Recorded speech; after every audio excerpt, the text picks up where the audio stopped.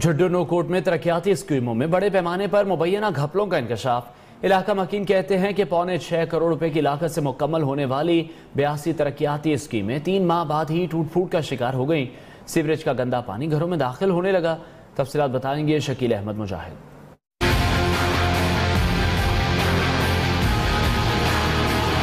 جڈو نو کوٹ میں ترقیاتی اسکیموں میں بڑے پیمانے پر گھپلے ٹھیکیداروں نے افسران کی مبینہ ملی بگت سے ناقص مٹیریل کا بے دریک استعمال کیا۔